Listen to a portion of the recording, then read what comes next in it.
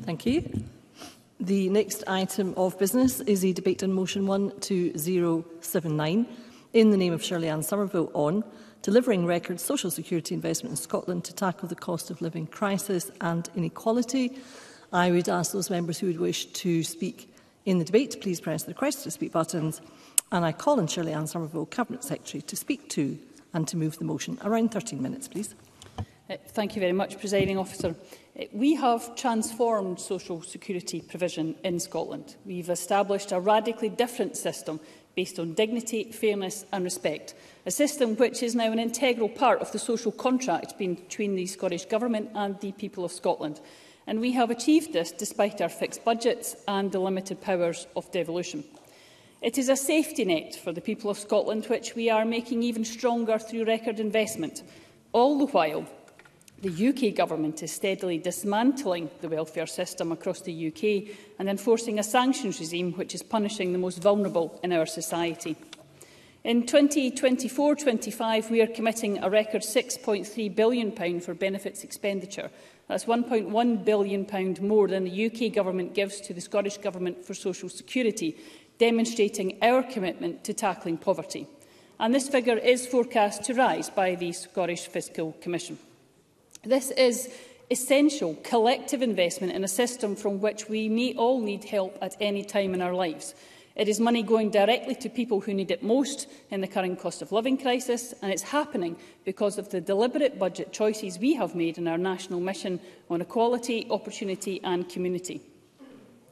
This morning I was at Ibrox Primary School hearing from parents who are now automatically getting early learning and school age Best Start grants without the need to apply through a separate application process, money which makes a difference immediately to their daily lives. Furthermore, we're delivering this investment against a backdrop of continued austerity at Westminster, catastrophic cuts to the Scotland Block grant and a UK Government autumn statement that was the worst case scenario for Scotland. Our Barnett funding, which is driven by UK spending choices, has fallen by 1.2% in real terms since the 2022-23 budget was presented. Nor did the UK government inflation-proof their capital budget, which has resulted in nearly a 10% real terms cut fall in our capital funding over the medium term. But as a part of our social contract here in Scotland, And in recognition of the cost of living crisis, we are uprating all Scottish benefits in line with inflation by 6.7% in April. Benefit expenditure is our single biggest increase in the 24-25 budget, and it will support 1.2 million people in the year ahead. That's more than one in five people in Scotland getting one or more of our broad package of benefits, ranging from helping disabled people to live full and independent lives, to helping older people heat their homes, and helping low-income families with their living costs. Certainly. Willie Rennie. Uh, when she was at Ibrox this morning, did she discuss the very low take-up of the two-year-old provision for early learning and childcare? We've discussed this before, but the latest figures show there's been a reduction in the number of two-year-olds that are accessing that provision. What steps should she in, together with the education team to make sure that is increased? Cabinet Secretary. Well, it is indeed something um, that we have spoken about um, in the past across this chamber, and I recognise Willie Rennie's continued interest in this area. It, clearly, uh, there has been work, as uh, he and I have discussed in the past, uh, to ensure that those that are eligible know about their eligibility and are encouraged to, um, uh, to apply and take benefit of that. Um, and I'll be happy to provide further information, uh, or through indeed the education team,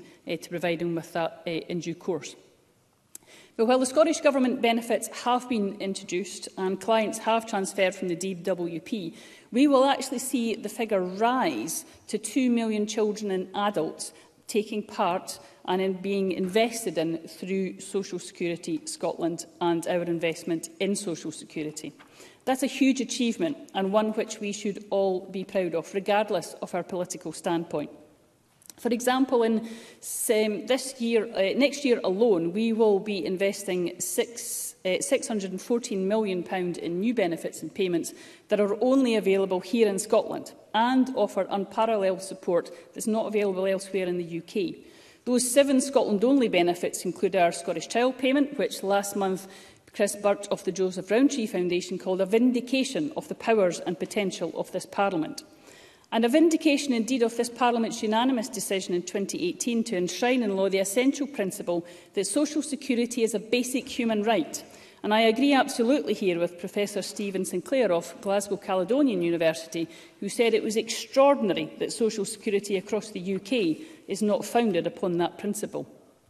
In keeping with that principle, and thanks to the difficult but essential spending decisions made by this government, from April, the Scottish Child Payment will be paid at £26.70 at £26 a week for 329,000 children. It's estimated that 50,000 children will be lifted out of relative poverty in 23-24, reducing child poverty levels by 5 percentage points. Modelling estimates that 90,000 fewer children will live in relative and absolute poverty this year as a result of this government's policies, with poverty levels 9 percentage points lower than they would have otherwise been. Presiding officer, the Scottish Child Payment is just one part of our five family payments package, which from the 1st of April this year could be worth over £10,000 by the time an eligible child turns six. That's compared to less than £2,000 for eligible families in England and Wales. That package, of course, includes the Best Start grant and also Best Starts food, for which we are widening eligibility later this month. The Five Families package is part of a £3 billion investment in policies next year which tackle poverty and protect people from harm as much as possible during a cost of living crisis. That includes funding uh, for childcare, providing free bus travel for over 2 million people and offering free school meals to all children primaries 1 to 5. Our disability payments are also delivering for the people of Scotland, with the latest figures showing that almost £400 million has been paid out for child disability payment to over 72,000 children. Now, in delivering our commitment and reopening the Independent Living Fund to new entrants, we are also further supporting disabled people who need it most with £9 million extra in investment next year. But, presiding officer, disabled people have told us that they found the DWP system humiliating, dehumanising and bewilderingly complex. So we've listened and acted, building our disability benefits in partnership with disabled people to be better, fairer and easier to apply for. Now in Scotland, disabled people no longer have to gather multiple pieces of evidence to detail every aspect of their disability just to get the benefits that they're entitled to. They no longer have to suffer the indignity of having their disability tested by private sector contractors. And we've listened to families on carers as well. I'll, I'll give the word.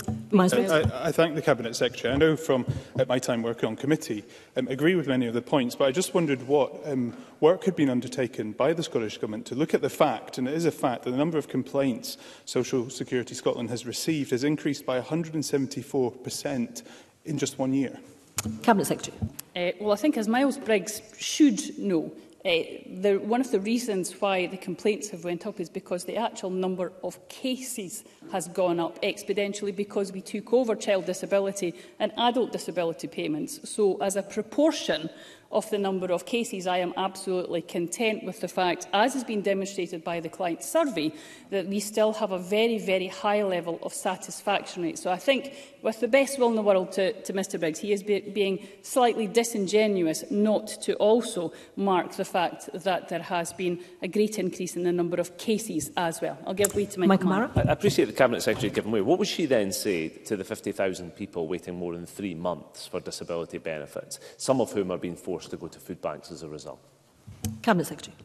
Well, one of the very uh, different aspects of this system, which I've just discussed, is the fact that Social Security Scotland will gather the supporting information. So previously, uh, individuals were forced to do that under uh, the DWP themselves, and they found that very, very um, um, humiliating um, and very, very difficult. The fact that Social Security Scotland will now do that for the client does mean, as that, that supporting information is gathered, that will take some time, but of course would reassure anybody uh, that is eligible that their payment would be backdated to the point of application. Now, we've also, as I said, presiding officer, listened to families and friends providing essential unpaid care for disabled people. That's uh, one of the reasons why carers allowance supplement was introduced, uh, our very first act when we took over social security powers. Why we've invested £3.3 million also in our young carers grant since 2019 and why we're also delivering extended entitlement for full-time students to the carer support payment as well. Presiding officer, we do have to contrast this with the approach from the UK government.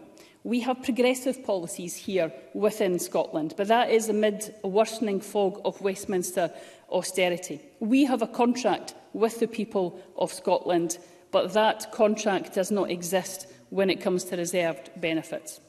We could do so much more, of course, if we weren't held back by the fact, for example, that universal credit is failing to support the people that it should be there for, that it does not provide for essentials.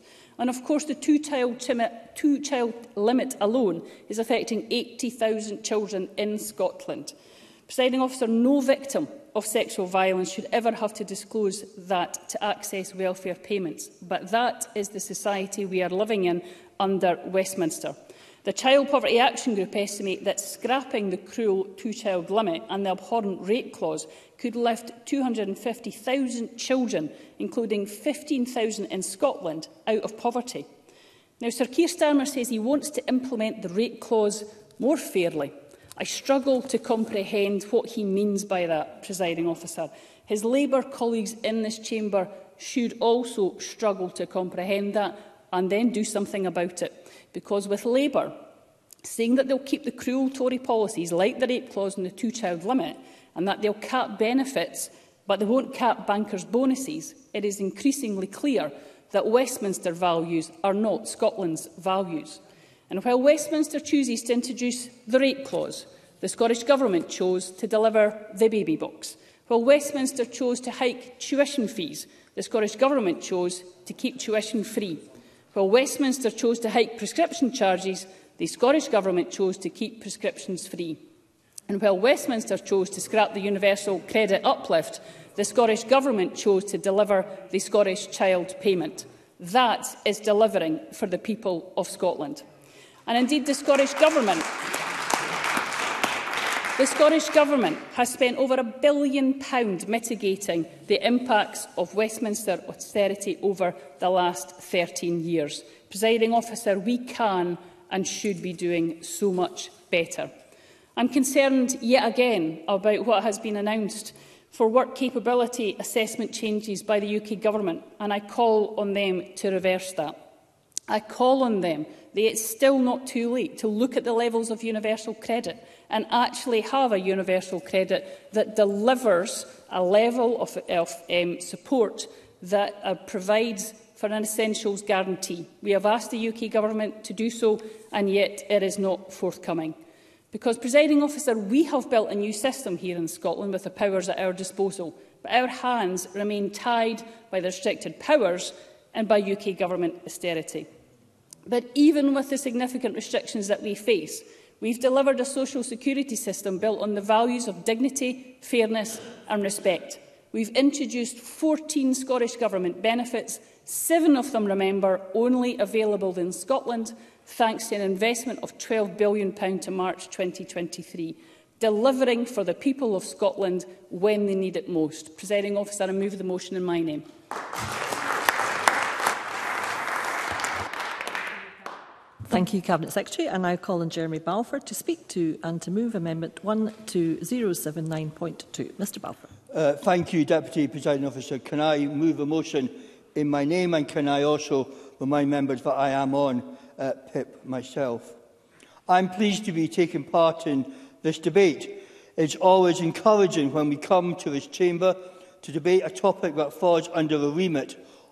of this place. I'm sure the people of Scotland will be grateful that we are discussing a topic that actually reflects their priorities. And in that spirit, I'd like to begin in a point of agreement. We on these benches agree that Social Security plays a vital role in tackling poverty. A safety net can, be, can and should act to lift people out of poverty and help them move towards a life that is full and thriving. And of course, the system should be absolutely treat everyone with dignity, fairness and respect. However, unfortunately, uh, Deputy Presiding Officer, this is where the agreement must come to an end, because we cannot in any way endorse the SNP patting themselves on the back in the ways we see in this motion. It tells a story about a perfect system that worked well to provide those in need when this couldn't be further from the truth. The past eight years of Social Security have been marked by error, delay and broken promises.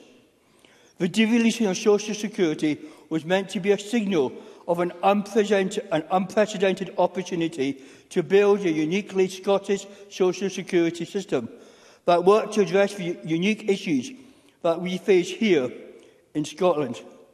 It was a radical affirmation of the doctrine of localism – and a chance for the Scottish Government to put its money where its mouth was and build a quality system that left behind the problems that they claim were embedded in DWP.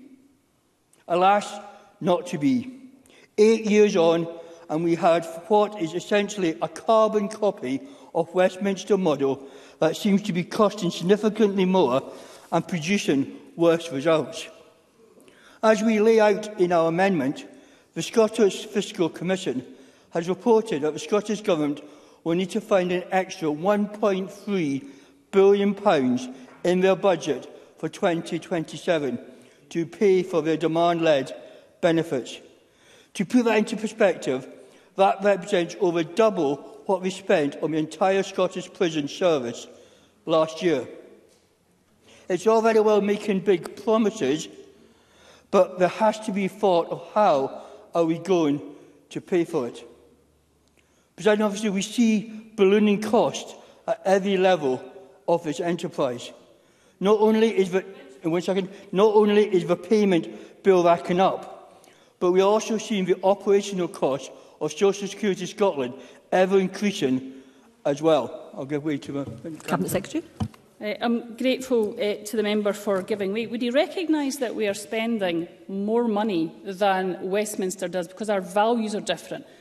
That includes the investment of near a half a billion pounds in the Scottish child payment on our mitigation matters because the, Scot the UK government won't scrap the bedroom tax, on our protection of people in a cost of living crisis when the UK government has just walked away from their responsibilities this week. That's why it costs more money, Mr Balfour, because we actually invest in the people of Scotland. And I'm disappointed that the Scottish Conservatives are suggesting we would want to cut that money in the future. Jeremy Balfour, I'll give you a time back. I, I, I think, with respect, the Cabinet Secretary got the long end of the stick. I am simply asking if you are going to have an extra 1.3 billion in 2027, what other budgets within Scottish Government are going to be cut to pay for that. I understand that the agency will run up a £322 million operations bill over the next financial year, which is a 130% increase from 2021. What on earth is going on in Dundee that is causing this metro rise in cost?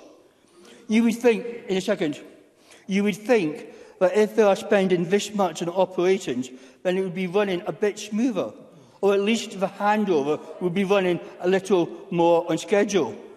The entire rollout of devolved benefits has been nothing but delay, delay, delay. I'm, John Spinney. I'm, I'm grateful to Mr Balfour for giving way because he's advancing an entirely contradictory argument to Parliament today. On the one hand, he's telling Parliament that the Scottish Government has simply followed Westminster policies – And then on the other hand, he's saying that we are incurring more costs in social security because we are spending more money, as the Cabinet Secretary has just said in her intervention. Could Mr Balfour please bring some coherence to this argument rather than the incoherence that the Conservatives bring to any debate on welfare in this society? Chairman Balfour. I, I'm always happy to try to uh, help Mr Swinney. The situation is, Mr Swinney, is that we have higher and higher costs of administration of the same benefits. So they are spending more money having to do with admin compared to what happens in DWP. Most recently, the government has pushed back on its estimate of how long it will take for them to, to move over from everyone from PIP and DLA to ADP. It was originally claimed that it would all be done by this summer but now we estimate that it will be the end of 2025. And that is an incredible thing, President officer, that even with this extended deadline, I suspect they will struggle to meet it. Because up to this point, Social Security Scotland... Um, yes, I, indeed. Uh, Cabinet Secretary, we need to hear the member who has the floor, and that member is Jeremy Balfour. Please continue, Mr Balfour. Uh, because up to this point, Social Security Scotland has moved across under 5,000 people per month on average. To meet this new target, they will need to, on average, meet just over 10,000 people a month. I'd be interested if the Cabinet Secretary could clarify in her closing whether she is confident that this deadline will be met. None of this is acceptable in any way. It's a total failure to deliver for the people of Scotland. We've got nothing that was promised from devolving social security. There is no radical Scottish way of doing things. There's no appetite from the government to really put into work what they claim they want to do. They like to pretend that they are more kind and more cuddly than this big bad DWP. But the figures just do not bear this out. One third of Scottish child payment applications denied. Two thirds of job start payment applications denied. One in five funeral payment applications denied. One over a third of AGP payment applications denied. They like to claim to be kind and friendly, but they are no such thing. They parrot the mantra of dignity, fairness and respect without doing anything meaningful to pursue these ideas. For example, Deputy Presiding Officer, the Scottish Government could change the 20-metre rule to 50 metres in the budget. This would be a radical departure from UK-wide policy.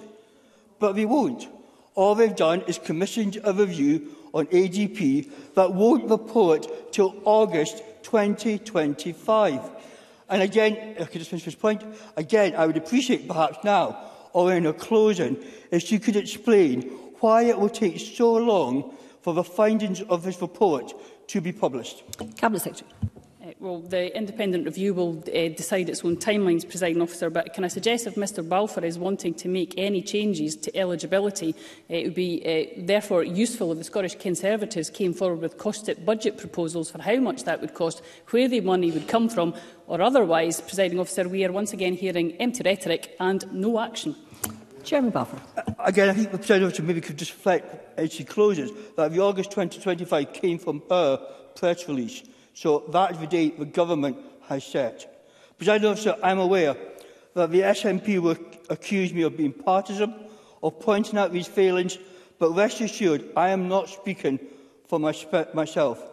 I have had a number, as many members have, briefings from the third sector organisations who have all made reference to the shortcomings of the Scottish Government. Aid Concern point out that we still do not have a Minister for Older People. We've lost the title of Minister for Disability. Key things within Scottish Government. A number of organisations, such as the MS Society, have been in touch with me this week and are calling for changes to the 20-metre rules. Others, like Carers Scotland, are calling for changes to the way carers are supported in Scotland.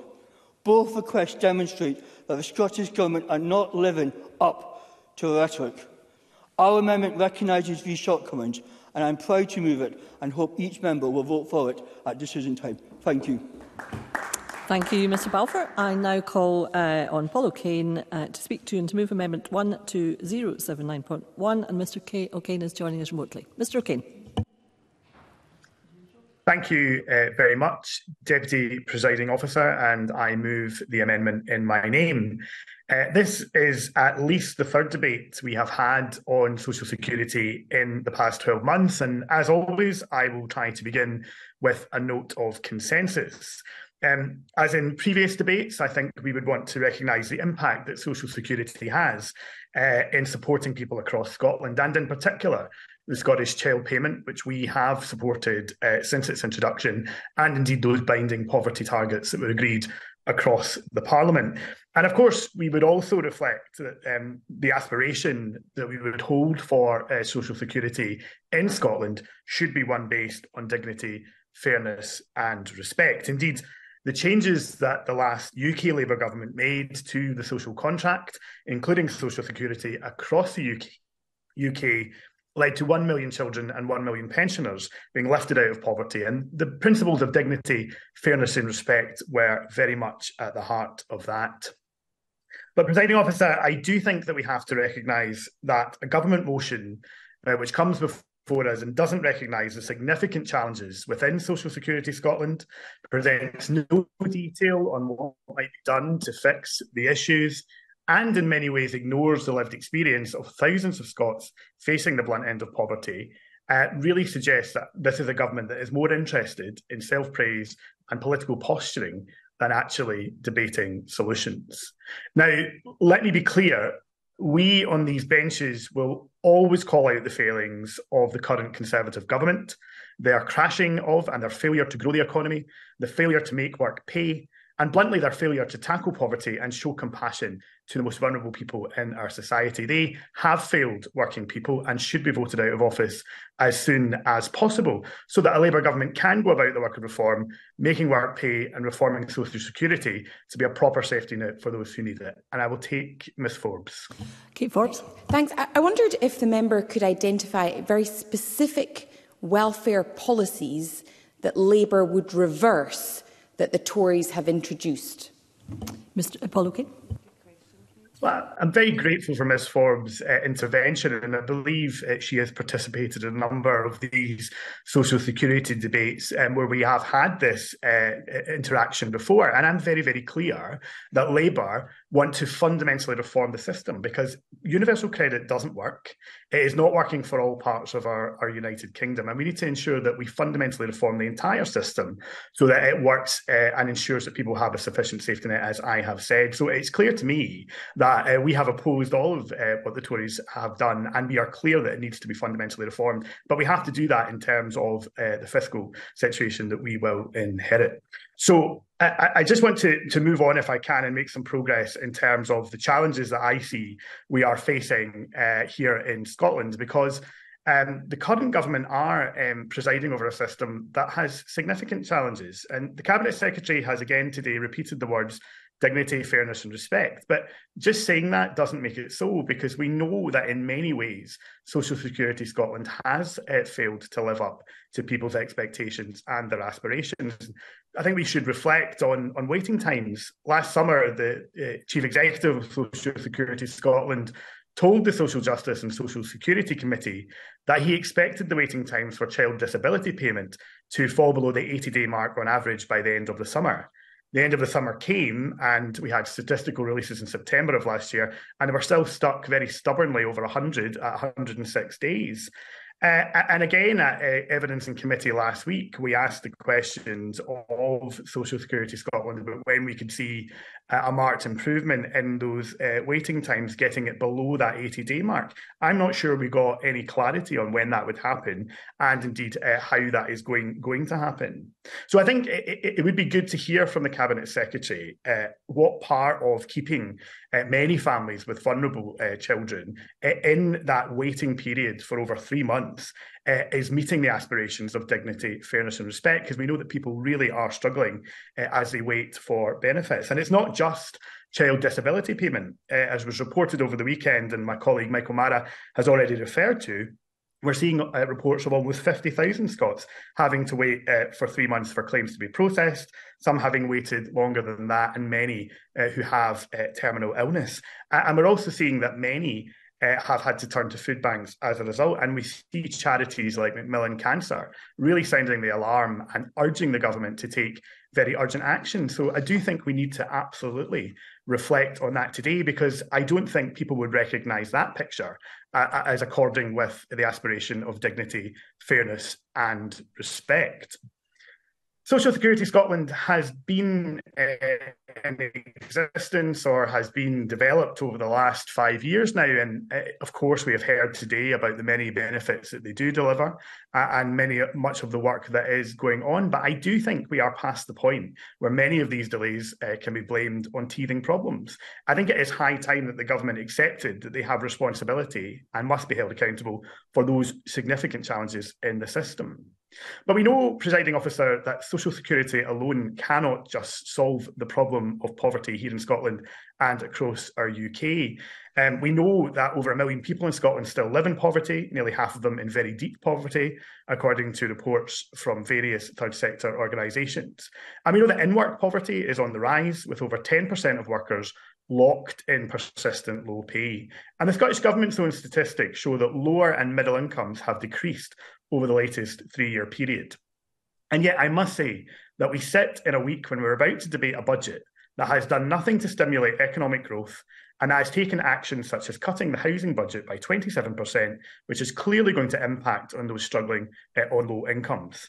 So I think it's against all of that backdrop that we have this motion today, which is rich in praise, but perhaps lacking in the reality of the situation. Uh, if we want to tackle the cost of living crisis, inequality, and poverty, what we need is a government willing to take the decisions to make work pay and to tackle the structural causes behind poverty and inequality. We know that positive change can be delivered by a Labour government willing to get to grips with the challenges that surround the system. And the last Labour government, as I have said already, understood that when they removed 2 million children and pensioners from poverty through its action. And we can do the same again by making work pay, to ending work poverty, growing the economy, and fixing a broken social security system across the UK. Because that is the change that I believe the people of Scotland want, the change that the people of Scotland need, and it is the change that Labour will deliver when the SNP have failed to do so.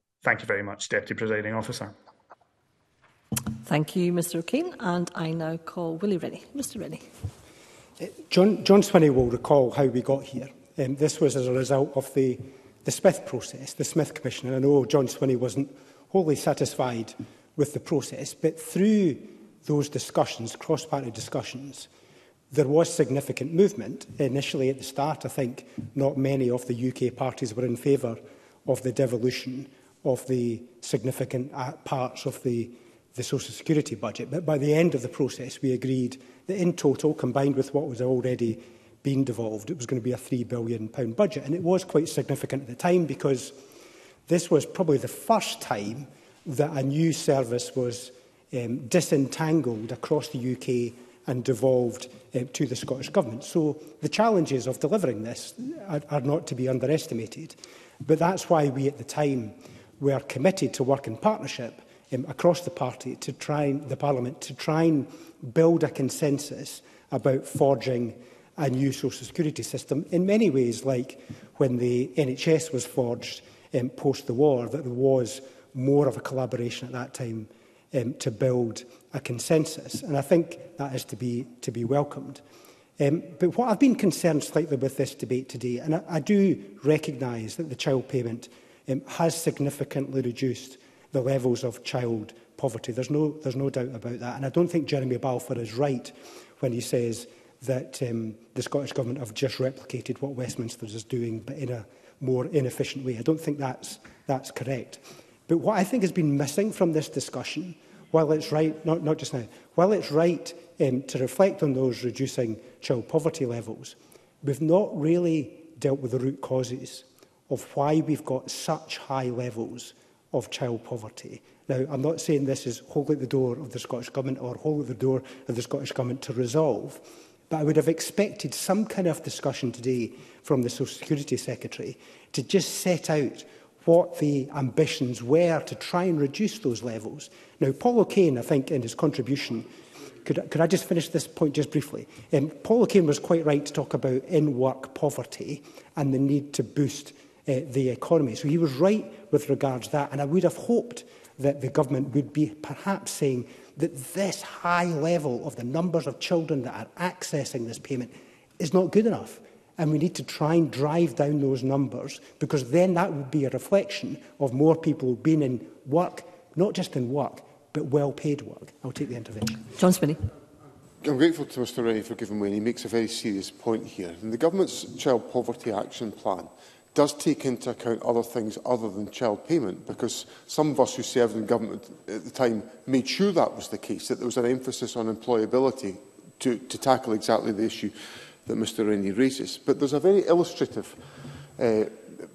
picture down at the bottom end of the garden lobby today, which goes through the history of the development of child poverty. And I'm afraid The genesis of the current crisis we face is the austerity that commenced after 2010, and it is crippling our society.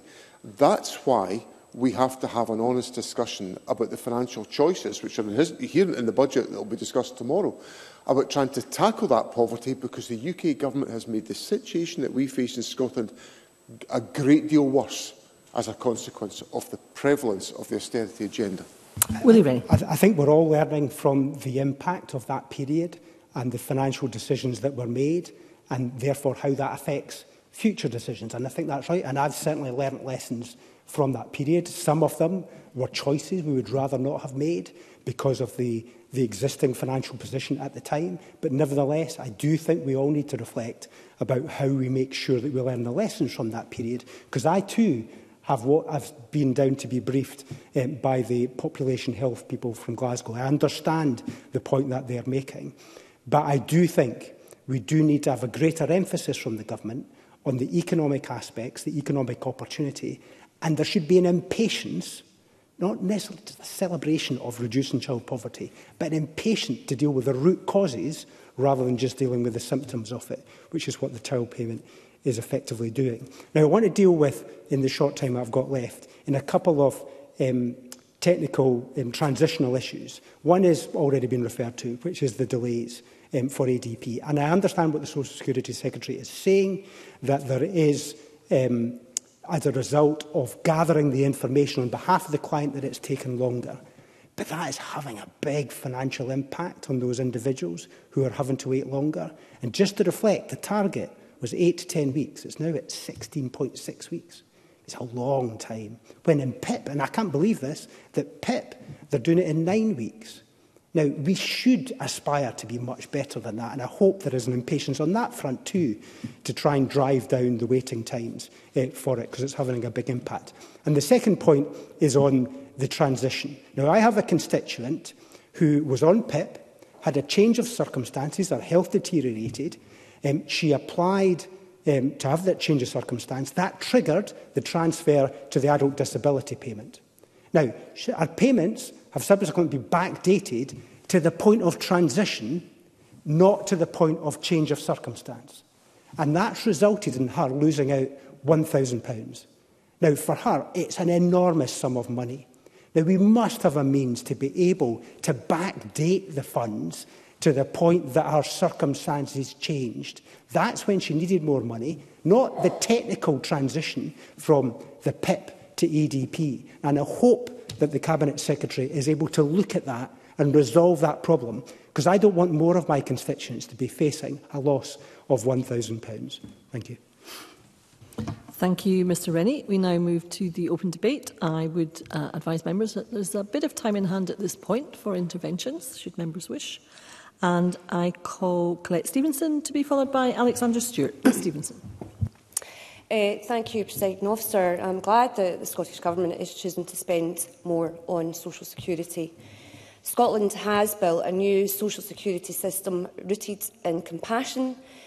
with dignity, fairness and respect at its heart, which has resulted in great changes even with limited powers. Stakeholders such as Save the Children welcome the Scottish Government's positive choices in tackling poverty. So it's baffling that Labour and the Tories can't even acknowledge that investment is going up. All parties should recognise that devolved social security is actively lifting children out of poverty, and we should continue in this vein. The Scottish Government is supporting people through the Tory-made cost of living crisis with ongoing investment of around £3 billion per year and policies including 1140 hours of funded early learning and childcare, expanded free school meals and the council tax reduction scheme. On top of this, despite continued Westminster austerity, the Scottish Government has chosen to spend more on social security, delivering 14 benefits, seven of which are unique to Scotland. These benefits will continue tackling inequality and supporting the national mission to tackle child poverty.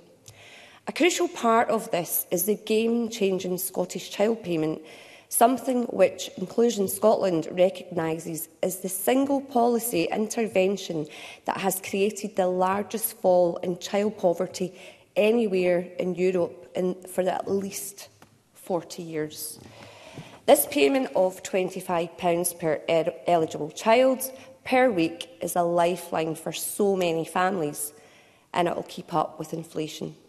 This year alone, it is lifting 50,000 children in Scotland out of poverty, and it will benefit a further 250,000 children. Other initiatives include the Best Start grants and the Best Start foods, helping families in the face of inflated food prices.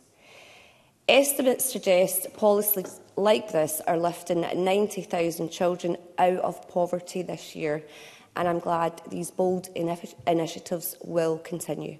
However, Scottish efforts to tackle the scourge of child poverty are needlessly undermined by the UK government with cruel policies like the two-child cap, which Labour will keep, and the £20 universal credit cut.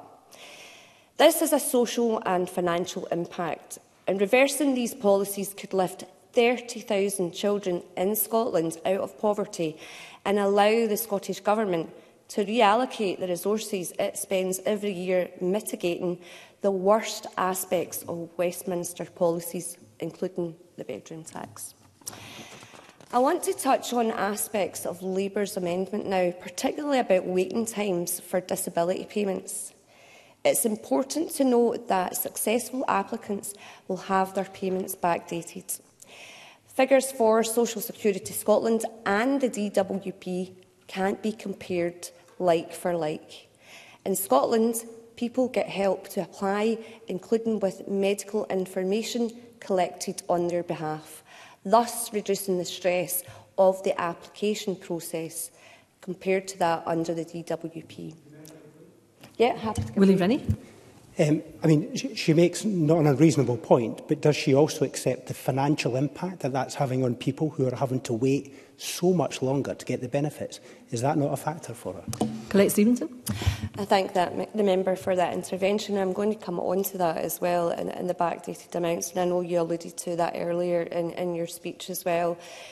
But yeah, as and having went to a visit in Dundee to visit social security, They are trying to mitigate the waiting times. And I know, from as far as I know, in the last count, it's gone down again by eight days.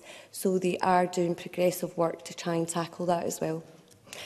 So in fact, when the, when the Social Justice and, and Social Security Committee, as I touched upon there, visited Social Security Scotland, we learned about the work underway to speed up all the applications. And I'm glad this wouldn't come at the cost of delivering a Scottish social security system with fairness, dignity and respect at its heart. We were told that part of the process in time is due to Social Security Scotland checking people are not underreporting their conditions, thereby ensuring that they get the full payment they are entitled to. Also, some claimants have very complex needs which requires discussion with multiple stakeholders, including hospital consultants, GPs and mental health practitioners. There are also perhaps issues with the use of the Sky Gateway by external agencies, and that is definitely something worth exploring further. And some of these points, points also tie in with the remarks about caseload from Jeremy Balfour. And I hope there is a consensus here where we can all accept the way Social Security Scotland is trying to do things in a much fairer way. In terms of finance and giving disabled people and their families at, that are at greater risk of poverty than non-disabled people. Inclusion Scotland welcomes the additional £1.1 billion being spent on social security in Scotland, and we should all recognise that the Scottish Government's approach to the application process for adult disability payment has resulted in a higher number of claimants receiving support and support the investment required for this. To conclude, Presiding Officer, While Westminster rips the UK welfare state to shreds, mm -hmm. the SNP and government is investing in Scotland's social contract. However, Scottish policies are being stymied by the Tories, mm -hmm. and I call on the UK government to introduce an essentials guarantee to ensure people on UK benefits have enough to cover their basic costs like food and fuel. With its powers, the Scottish Government will deliver record investment in social security next year, continuing to deliver unique benefits that are lifting children out of poverty. Overall, estimates show Scottish Government policy is lifting 90,000 children out of poverty this year alone, and it is right that we increase investment in social security to tackle poverty. Surely colleagues in other parties will vote for this tonight. Thank you. Thank you, Ms Stevenson. I now call Alexander Stewart to be followed by Bob Doris. Mr Stewart. Thank you, Presiding Officer. I'm pleased to be able to contribute to the debate on behalf of the Scottish Conservatives, and I will be supporting uh, the amendment in the name of Jerry Balfour this afternoon. It is right that the Scottish social security system be used to support those suffering due to the cost of living crisis. With the significant social security powers that Scotland now has available to it, it would be expected, and we would expect nothing less from the Scottish Government, just as we would expect nothing less from the United Kingdom Government, who have already invested an additional £94 million to support householders through the difficult economic climate. The support was significant and has helped uh, avoid uh, a recession in 2023, according to estimates from the OBR. There have also been significant increases to universal credit. That means that the, the test uh, of that uh, is that over 700,000 Scots will benefit from that. And this is in, addition uh, to the increase in the state pension of more than £900 per year uh, and the increase in the national minimum wage to nearly 10% and the national insurance cuts was £750 to nearly 3 million working Scots. Presiding officer, on the face of it, there are some statements within the motion today uh, that the government are mentioning that are laudable and speaks about the importance of using uh, Scotland's social security powers to support those who need and are in need of assistance. Unfortunately, however, the motion also contains too many self-congratulatory statements, uh, and that uh, will mean that we will not be able to support it today. As our amendment sets out, the Scottish Government's record on this issue is not one which Scotland's ministers find themselves uh, patting themselves on the back for. Indeed, this government's record so far has been, and we've heard already in discussion and debate, that there are many delays and there are many missed opportunities. What we know is the government's missed its original deadline for transferring benefits to Social Security Scotland. We also know that in the total, it's taken a decade uh, from us to go from the Act of 2016 to ensuring that full control uh, was taken forward. While this is good news for benefits such as the child benefit payment and the adult disability payment have finally been introduced, we are still seeing problems on how these benefits are being processed, presiding officer. Nearly a third of applications for the Scottish child benefit have been denied. And Social Security Scotland has admitted that processing times for the adult disability payment are still too long and are causing concern for these individuals.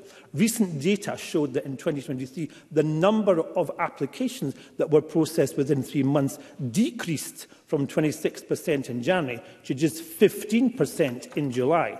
The number of applications that were processed in less than two months has now fallen to just 3%. The top On top of that, uh, the number of complaints we've already heard today has increased uh, by 170% in the space of one year. And yes, the Cabinet Secretary has talked about uh, the, the, the, the managing the situation and, and coping with the increase. But the reality is that people are waiting longer and more people are making uh, complaints about the process. Uh, the SNP government has often liked to criticise the Department of Work and Pensions, and I have heard that on numerous occasions in this chamber over the years, and the UK government's approach to dealing with benefits. However, with Scottish Social Security, the SNP are now learning the hard facts, the hard facts about how they tackle that and how it works and what it looks like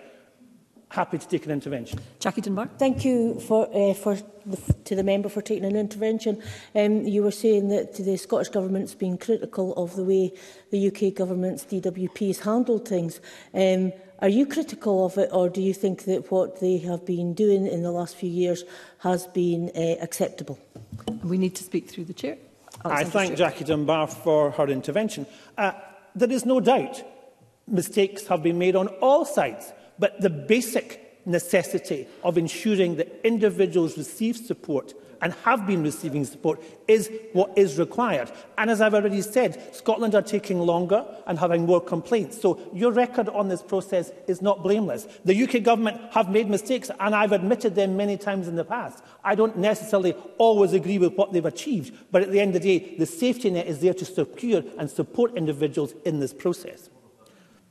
It's clear that there more needs to be done uh, ensure uh, that individuals and caseloads are increasing, uh, Deputy Presiding Officer. We've already seen that. Despite not being able uh, to manage all of the, uh, the current situations, the, the powers that the SNP government have, and now we're getting into the, the realms of pie-in-the-sky plans for more benefits. The Scottish Government recently uh, uh, in, in indicated and put forward their independence paper, Social Security in an Independent Scotland, which makes the usual collection question of undeliverable promises for the Scottish public are becoming very tired of listening to. These include suggestions that an independent Scotland could consider introducing the universal basic income. And of course, uh, these details uh, have been propped about in the past, but the government have, have not given us the full estimation of how that would be funded and how, much, how many million, billions it would cost. Uh, and, and it's very surprising that they don't go into the clarity uh, when we see that in the past. But presiding officer, instead of wasting yet more time and more money setting out hypothetical plans for a hypothetical social security system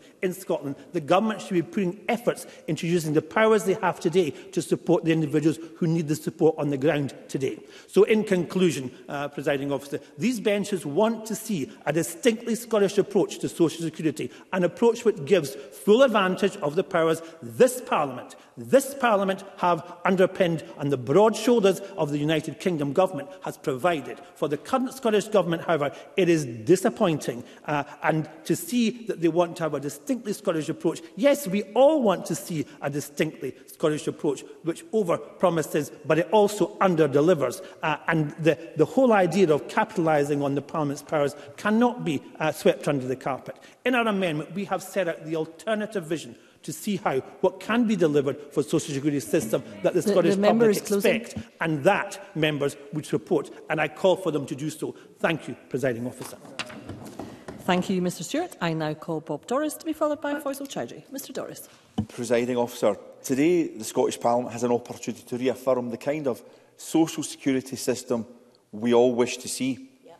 An opportunity to recognise on a cross-party basis the huge progress that has been made by Scotland's Government and Scotland's Parliament, Scotland's Parliament, presiding officer, to embed a social security system based on dignity, dignity fairness and respect. To set out how we can build further on our fledgling social security system and to have a frank conversation as to the barriers to allowing us to go further as we'd wish to. I am not surprised that the Conservative approach to the debate is simply to seek to airbrush out of the public record the very real progress made by the Scottish Government and Social Security Scotland to helping those most in need in Scotland. I'm also not surprised they seem to question whether it is money well spent by drawing attention to the cost of social security in Scotland. Let me see clearly to the Conservatives. The £6.3 billion in social security expenditure in 24-25 and the Scottish Fiscal Commission forecast that this investment will be £1.1 billion beyond what we get from the UK Government through the Social Security Block Grant is an investment well spent, a welcome investment to support the most vulnerable people in our society, and I am proud of it. An investment that, for instance, due to the near half a billion pounds annual investment in the Scot Scottish Child Payment means that child poverty, child poverty levels in Scotland are significantly lower in Scotland than in Conservative England and indeed Labour Wales. Child poverty levels in Scotland nine points lower than otherwise would be. Still too high, of course, presiding officer, but 90,000 children less in poverty because of actions of this Scottish Government. Now, let me agree with the Conservatives that I am also concerned at the cost. The cost of having to pick up the pieces within Scottish society of a Westminster Government prioritising a tax on the poor and disabled and tax cuts and for the rich overdoing the right thing. The Scottish Government is absolutely right to reference UK Government block grant cuts and to continued UK Government austerity. This directly undermines the positive progress that Scotland's Parliament have all signed up to over a number of years. We must never take that progress for granted, President Officer, on child poverty, on carers allowance, on disability assistance, on the bedroom tax and so much more never take it for granted, presiding officer. Importantly, the Scottish Government motion also calls on the UK Government to drop planned work capability assessment changes, which has all the hallmarks of another Westminster attack on our most vulnerable, potentially directly attacking some of the most sick and ill people in society. Shame on them. And for our UK Government to immediately scrap the two-child cap, it would lift 80,000 children out of poverty. Uh, so it would, it would out of that cap and 15 out of poverty here in Scotland. And of course, the heinous rate clause. Now, presiding officer, standing up to the terms of the Scottish Government motion, essentially acknowledging excellent progress made by Social Security Scotland and our Parliament in supporting many of our most vulnerable citizens, that 6.3 billion investment and the real progress made in tackling child poverty, as well as pointing out the clear cruelties and deficiencies of the current UK Conservative Government's approach to welfare, should be plain sailing for any Labour Party worthy of that name. How sad that we see the UK Labour Party representatives here in the Scottish Parliament again fail to offer any commitment to scrapping the repugnant Tory rape clause and to seek to raise any concerns over work capability assessments. As we also look to the Parliament passing the 24-25 Scottish budget in the days ahead, Let us also draw attention this afternoon to the Labour Party actions seeking to remove all reference to Westminster austerity on Scotland and any reference to cuts to Scotland's block grant from Westminster. Presiding officer, this is a diminished Labour Party, a Labour Party in name only. Let's have no crocodile tears from the Labour Party over the tough choices that this Scottish Government will make in the days ahead because of the said same UK cuts. We need to be champions for the most vulnerable people in Scotland, not apologists for Westminster. Now, moving on, I did say, presiding officer, I want to talk about the what next of social security in Scotland. And I acknowledge those what next depend heavily on the extent of UK austerity and the budget constraints on this place. But there's a few I do want to suggest. I think we need to explore if there's a need for a taper when people move into work or lose universal credit but were previously receiving the Scottish Child Payment? Should that be removed in a phased way? Is there a cliff edge as families try to get back into work? Are there unintended consequences around that? I think Mr Rennie made some points in relation to how we support making work pay within Scotland. Perhaps the Scottish Child Payment actually has a role to play going forward in relation to getting people into well-paid work and using a taper might be one way of doing that. I would like to know what the Cabinet Secretary and Scottish Government has thought about in relation to that going forward in the future. I also believe we need to do more to support the energy costs for terminally ill uh, individuals, their families and carers. I know Mary Curie Scotland and MND Scotland gave us a briefing ahead of this afternoon's debate. And one of the things, they've called for several things, Presiding Officer, one of the things they've called for is for targeted support from the Scottish Government for the energy costs of those in that situation. I do acknowledge eh, my SNP colleague at Westminster, Marion Fellows, is seeking to bring in legislation for a social tariff for those that are disabled and those with a terminal illness at a UK level. But if we can do more in Scotland,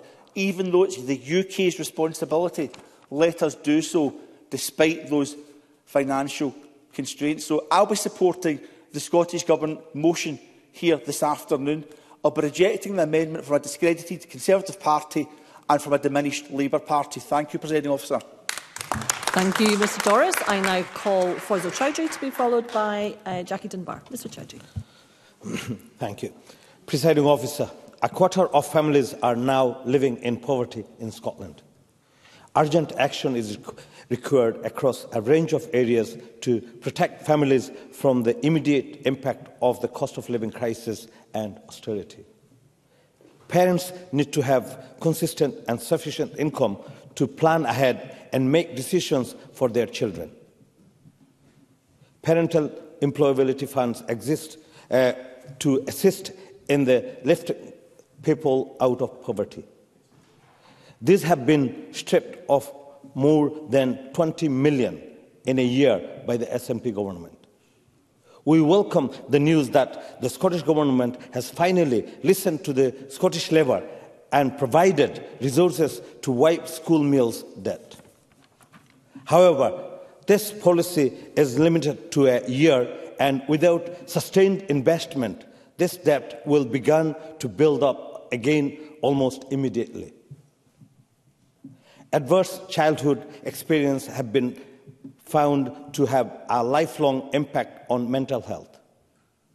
One of these is a child, uh, childhood spent below the poverty line. according to Public Health Scotland, children born into poverty are more likely to experience mental health problems. Prevention for adverse childhood experiences such as poverty are essential for fostering long-term mental well-being for young people. Public Health Scotland advised that majority of the mental health problem will develop before the age of 24, with 50% of mental health difficulties established by the age of 14. The SNP is set to miss its own statutory child poverty target with 23% of children in relative poverty in 2021 22. Children born into improvised areas will uh, eventually face significant hurdles in their life. The longer children live below the poverty line, the bigger impact it has on their overall health, development, and well being.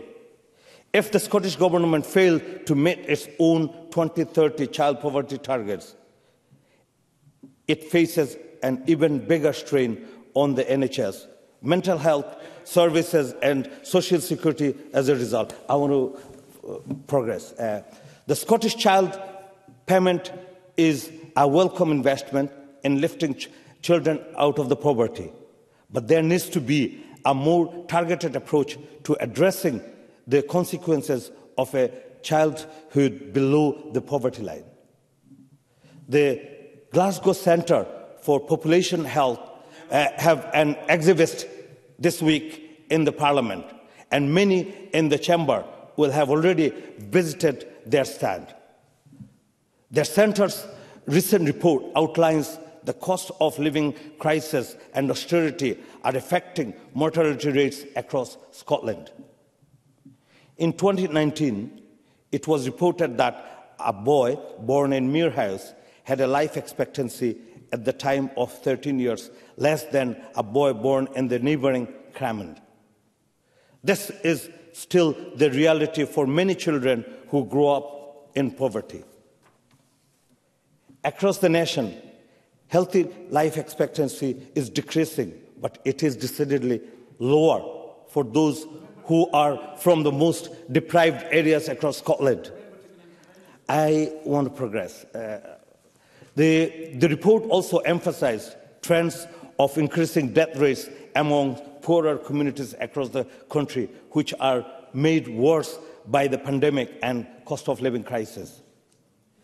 These inequalities can often be linked back to our childhood below the poverty line. Yet, we are still seeing budget for, uh, for tackling child poverty and social justice reduced. Budget were down 3 million this year alone and 68.8 million compared for two years ago. Finally, presiding officer, the Scottish Government must make its 2030 child poverty targets, but also address other inequalities that people in Scotland are facing. Social security, social security costs are spiraling we are seeing the multi-million pounds increase in, to running the cost of, to support the delivery of devolved benefits.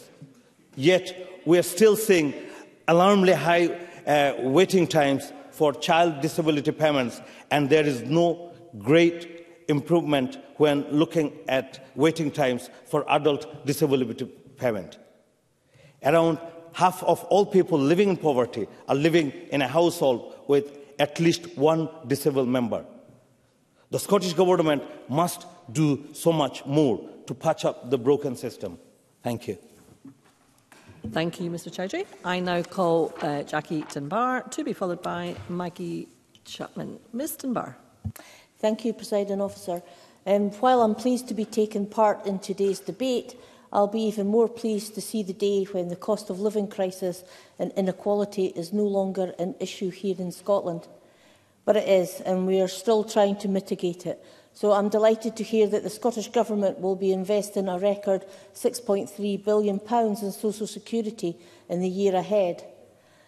That money is an investment in the folk of Scotland, in our social contract with them, and in the safety net that should be there to catch folks when times are tough, get tough. And right now, times are tough.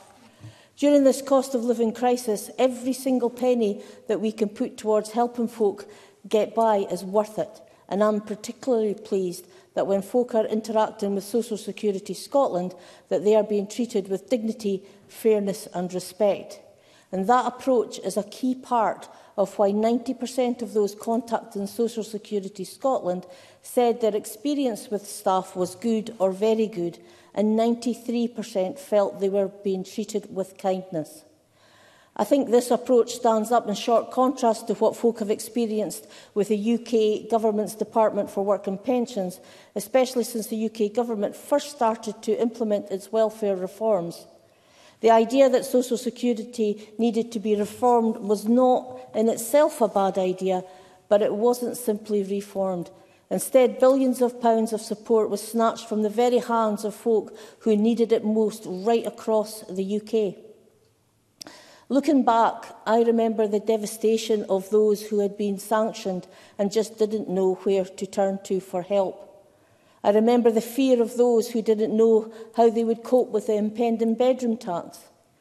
I remember the trepidation of those being asked to attend a work assessment including those with lifelong or terminal conditions. I remember the implementation of the benefit cap, the child cap and the rape clause. I remember food banks becoming commonplace.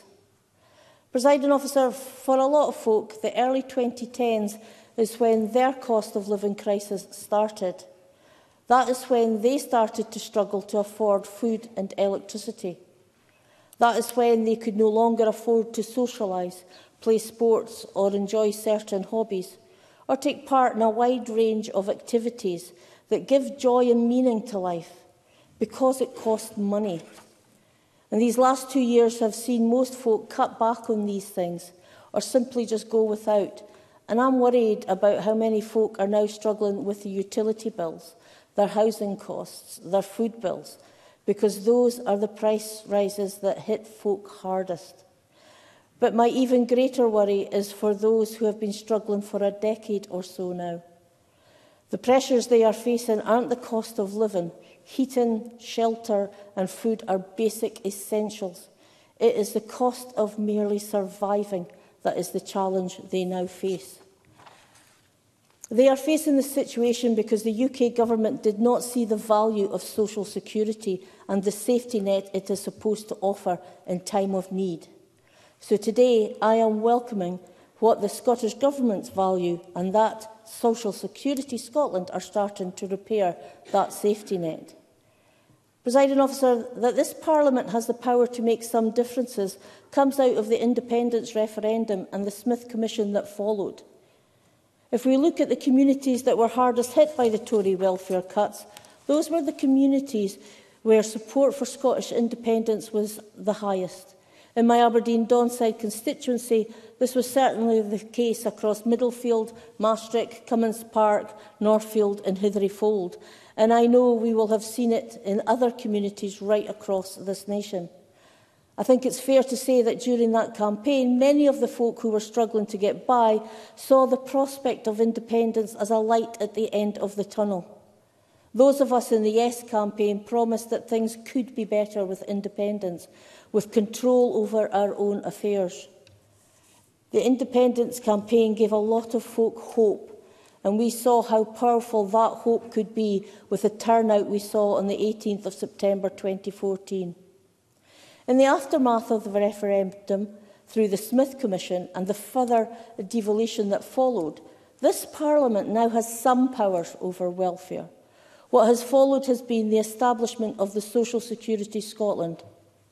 We are building a social security system that even at this early stage is offering support from the cradle to the grave, with the Best Start grants and Best Start foods, the game-changing Scottish Child payments, all there for the start of life, while the funeral support payments are supporting families who are grieving at the loss of a loved one at the end of life.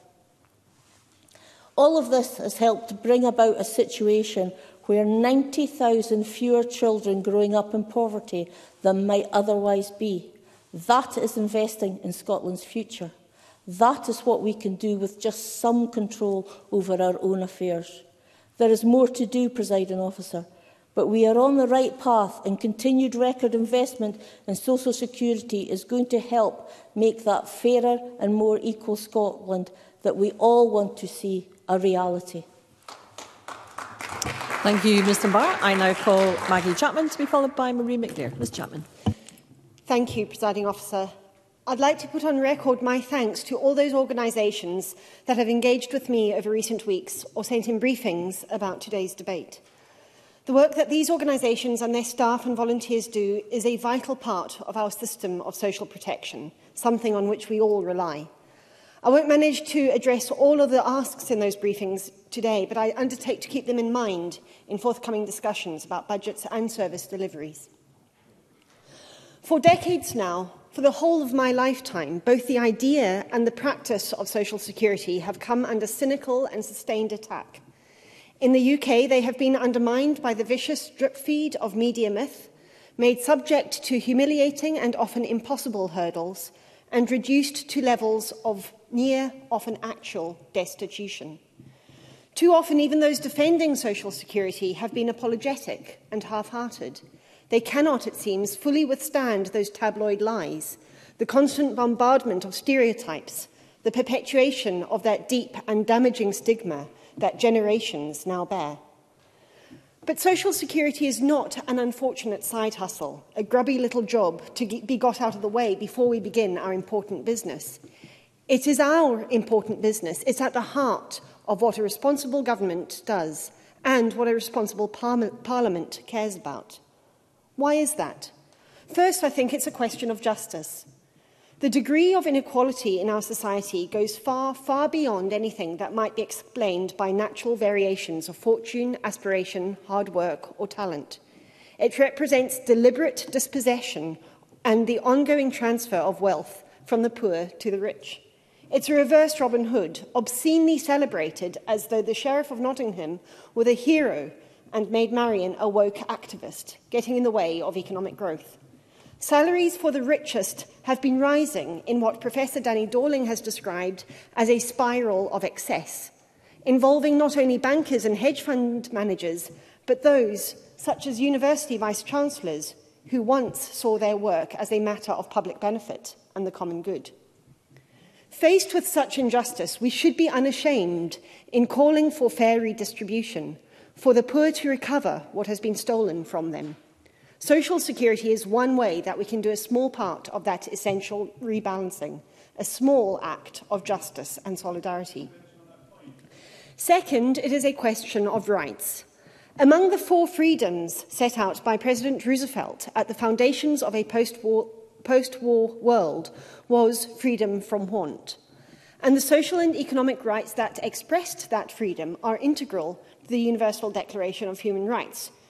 whose 75th anniversary we celebrated just a couple of months ago.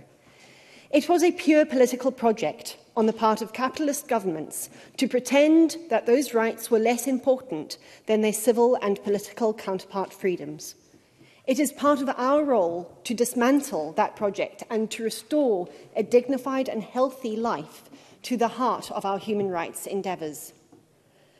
Third, it's a question of sustainability, of our shared future and what that's going to look like. For inequality, as the spirit level authors demonstrate, damages our whole society. And the traumatic effects of poverty harm not only individuals and families, but communities and social structures across time and place. There are huge tasks ahead as we work for a fair, peaceful, unpolluted and thriving Scotland, and we each need the resources and re resilience to play our part. As this motion reflects this afternoon, we can and I think should be proud of what we've done here in Scotland, of our record investment in social security, of our increased benefits, our respectful approach, our mitigation of Westminster cruelties, but most of all of the Scottish Child Payment, which Danny Dorling has described as the single policy intervention that has created the largest fall in child poverty anywhere in Europe for at least 40 years, as others have already highlighted. But we must do more. We must look at all of our policies, our budget decisions and our proposed legislation from the perspective of a child in poverty, using the tools we have and developing those we need – participation, transparency and accountability, accurate data and monitored targets. They all take work, meticulous work, humility and a willingness to challenge and be challenged. This afternoon's debate is an opportunity to recommit ourselves to that work and that willingness. And I thank Bob Doris especially for the suggestions he made earlier in his contribution, some clear proposals for us to consider. We must also continue to call out Westminster's cruel and vindictive policies, its direct social security decisions, the inhuman two-child limit and prurient rape clause, but also its failures in reserved areas, especially energy, trade and immigration. Because social security that excludes children seeking sanctuary from the worst horrors of the world is neither social nor secure. And we must challenge other vested interests who are hiding their exploitation of the poor behind a cloak of invented inevitability. The reality of the cost of living crisis is that it represents the cost of greed. The new Taken Not Earned report by Global Justice Now and others shows how huge corporations and their billionaire controllers set exorbitant prices using their effective monopoly power not only to gouge consumers – but to strangle the smaller firms upon which our communities depend. Social security, at its best, is just that. The essential oil that keeps our society, our communities and families working as they should, safe and secure, freed from want to come together in growing our shared future. We are privileged here to help make that a reality.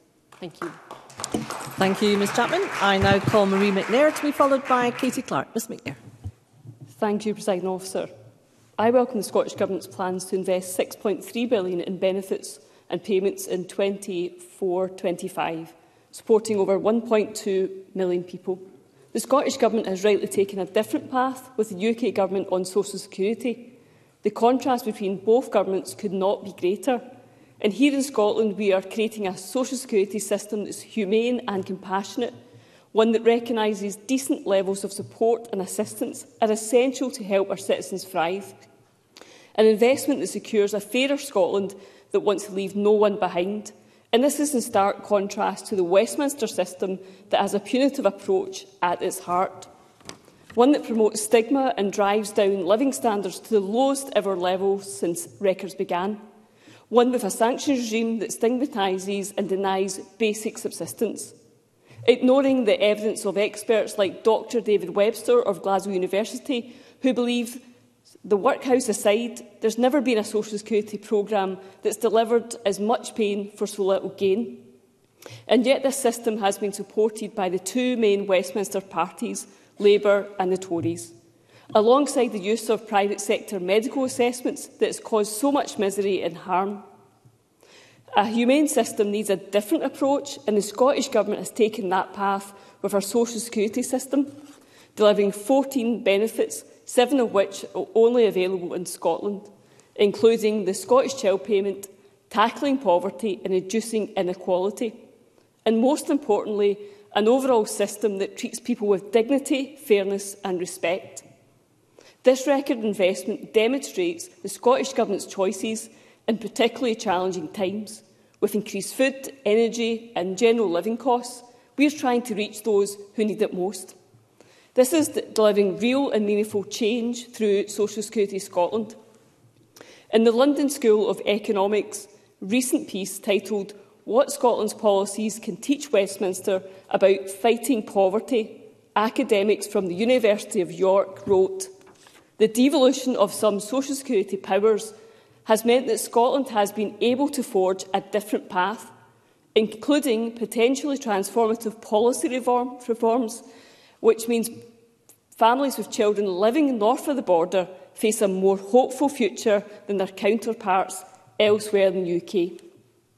And when discussing the Scottish Child Payment, they state Oxford University's Danny Dorling has predicted that increasing extended payments will transform Scotland from being one of the most unequal places to live in Scotland, uh, Europe sorry, to being one of the most equal. In short, it's a big deal. They're right, it is a big deal, and we will do more. But we're hindered in that endeavour, though, by the need to mitigate Westminster welfare cuts. £90 million has been made available for discretionary housing payments.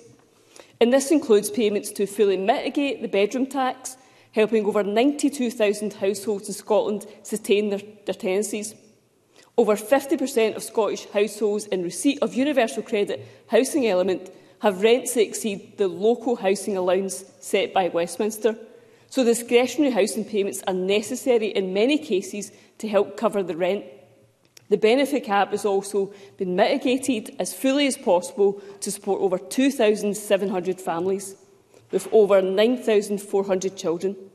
The benefit cap denies children the support they need, yet the, the Tories persevere with it and shamefully Labour are silent. Silent on this cap that plunges families into poverty, but all chatty about the cap on bankers' bonuses. Labour's happy to see the cap on bankers' bonuses lifted but won't commit to lifting the cap on benefits or scrapping the two-child policy and its abhorrent rape clause. Disgusting. We're also righting wrongs that the Tories and Labour refused to fix. One example is the raw deal that was given by both parties when in government to unpaid carers. Since 1976, when carers allowance was initially introduced as invalid care allowance, successive UK governments refused to align the amount paid with other earning replacement benefits. It's taken this SNP government to change that with the carers allowance supplement. And we're also making further improvements in contrast to the neglect from Westminster. The recent proposed changes to work capability assessments shows the neglect will continue. The OBR uh, eh, estimate that hundreds of thousands could be impacted and potentially lose over £4,000 per year. Unfortunately, this shows that the cruel UK government austerity measures are continuing at a pace. We need to end this Westminster approach that lacks humanity and compassion, and only real change will come with independence and full control over social security. We can remove the two-child limit and scrap the rape clause. We can remove the benefit cap and the bedroom tax. We can end the benefits action regime. We can end the young parent penalty. We can provide more support for those starting work, like upfront childcare costs and travel. The Scottish Government will continue to invest in social security, providing help when needed and investing in our citizens. And with independence, we will do even more. Thank you. Thank you, Ms McNair. I now call Katie Clark to be followed by Bill Kidd. Ms Clark. Thank you, Presiding Officer, and I welcome this debate as an opportunity to scrutinise the work of Social Security Scotland and indeed the devolution of benefits in Scotland. And of course, as others have said, we face significant problems in Scotland with poverty, deprivation, deindustrialisation, poor growth and poor productivity. And we're not in any way going to be able to lay out a strategy to deal with that in this debate today. However, I do believe that we can use it as an opportunity to scrutinise what has happened in recent years and how Social Security is working in Scotland. And the Cabinet Secretary and others are, of course, correct to make the point about mitigation and that it is decisions that this Parliament has made to mitigate some of the inhumane policy decisions of the Westminster Government that are part of the reason that the Social Security benefits in Scotland are under strain and that the budget is so high. However, the role of this Parliament is to ensure that the new significant social security benefits um, and budgets are properly spent and that support is provided to those most in need. And I think it's fair to say that all parties in this chamber have the expectation that Social Security Scotland will be significantly better than the Department of Work and Pensions.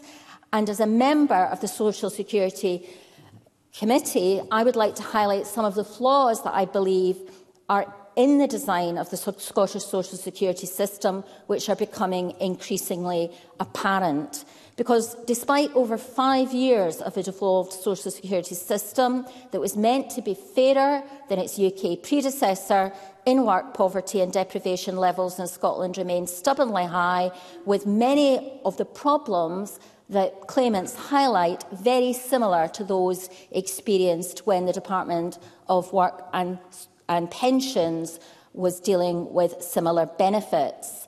Unfortunately, The Cabinet Secretary claimed to have transformed the social security system in Scotland, and I presume she means the experience of claimants is simply not borne out in reality.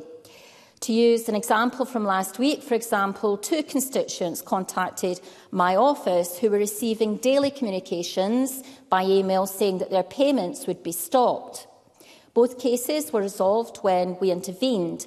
However, I believe this is an example of an over-reliance on automatic computer-generated systems sending out emails causing distress.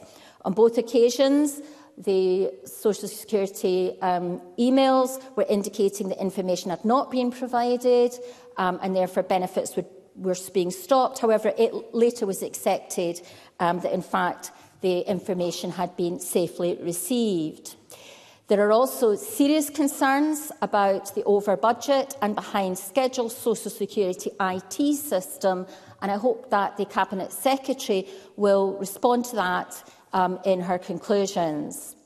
If we look at some of the most recent statistics, available, it appears that processing times have worsened for several services compared to previous years. And I, I note what the um, convener of the committee said in relation to one specific benefit. But for example, and it may be she's got information that I haven't been provided with as yet, but for example, when looking at the data for adult disability payments, which of course um, is a substantial benefit that takes up a substantial part of the budget, we can see that the average number of days waiting for an application to be processed increased. Between March 2023 and October 2023, the average waiting time for adult disability payment to be processed was 104 working days. Over the same period for the year before, the application processing time um, was um, 37 days. It would be helpful if there is more up-to-date information and if there is progress, um, if that could be provided. But according to most recent data available for child disability payments, the average number of days for an application to be processed has also increased. And between January 2023 and 20,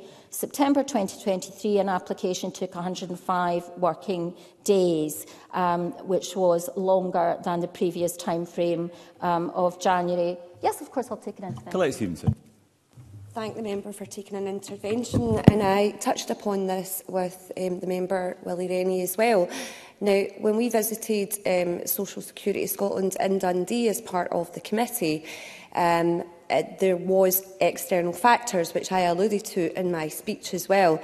And notwithstanding that, as well as there's obviously significant factors in terms of really um, various, varying degrees of disabilities and activities that need to get dealt with as well.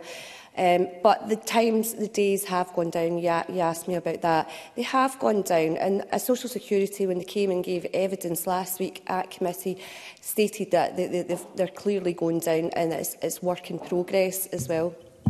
Thank you. Clark, I don't know I can give you the time I'm back. going to get time back. I can give you the uh, time I'm back. I'm grateful that. to that because as you can see that um, time is progressing. Um, and, and similar um, information was available in terms of um, uh, funeral support payments. But I will look at what the convener is saying because that, that isn't information that, that um, has been provided formally as yet, and as she's aware, I wasn't on that particular um, committee visit. The turn-down times for some benefits, as she also will be aware, are either the same or at times have been worse than um, Department of Work and Pension levels, and this has been referred to by other members in the debate. We fully appreciate the financial pressures on the Scottish Government Um, and as I've said, most spend is on adult disability payment um, and the pressures. We also very strongly support um, new benefits that have been introduced, such as the Scottish Child Payment. And I think that is worthy of specific mention because the research does suggest that that has been um, a specifically successful measure. Um, but as a parliament, I think we have to say very clearly that we have high expectations of Social Security Scotland. It isn't helpful for the Scottish Government to be coming forward with self-congratulatory motions. Um, I think we need to have a balanced debate and some very significant issues are being raised which are appropriate to raise in this chamber and I hope that um, going forward there will be a constructive debate debate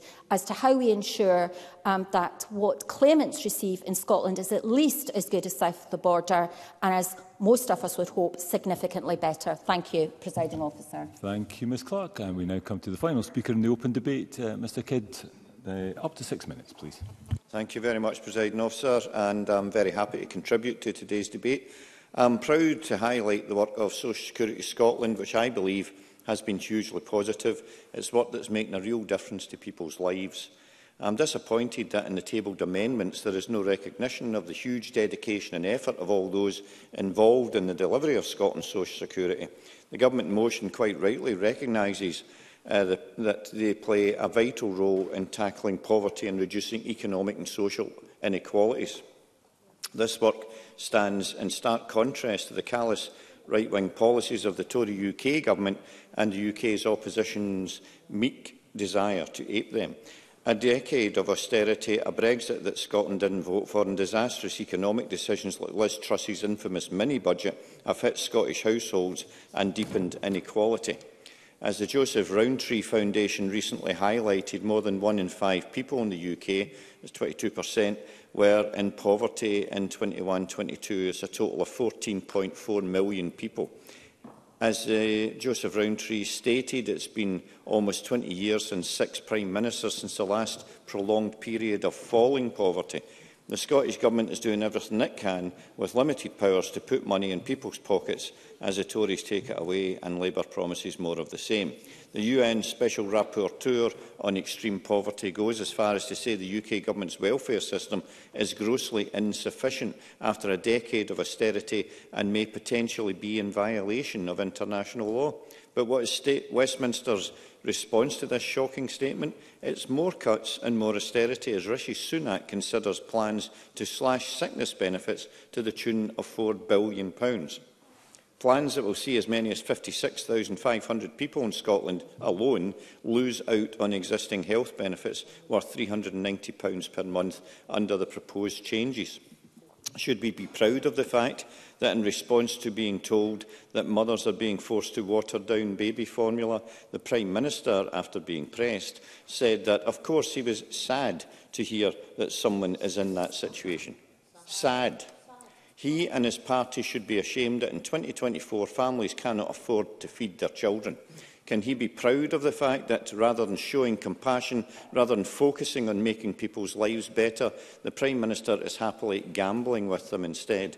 While people struggle to scrape together another tenner for food, he is happy to wager £1,000 with Piers Morgan on whether or not his unlawful and inhumane Rwanda deportation policy will ever get off the ground bringing the ex-Home Secretary Suella Braverman's self-proclaimed dream and obsession into our reality. Meanwhile, Keir Starmer even praised Margaret Thatcher in a recent article. And all this amidst a string of U-turns and broken promises from the Shadow Cabinet, most recently by confirming no intention to reinstate the cap on bankers' bonuses. So we should be proud of a social security system that puts dignity, fairness and respect at its heart. Tackling poverty and protecting people from harm is one of the three critical and interdependent missions for the Scottish Government alongside a focus on the economy and strengthening public services. Remember that it's only with the full economic and fiscal powers of an independent nation that ministers can use all the levers other governments have to tackle inequalities.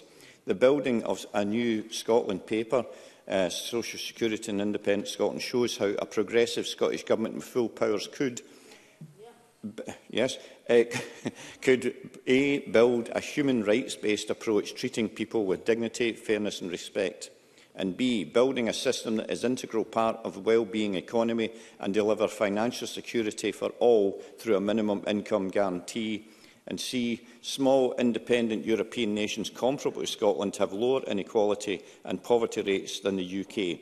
And if they can do it, why not Scotland? Until then, the SNP government will use the limited powers of devolution to build a social security system with dignity, fairness and respect at its core, and this is something we should be supportive of, something we should be proud of. Thank you.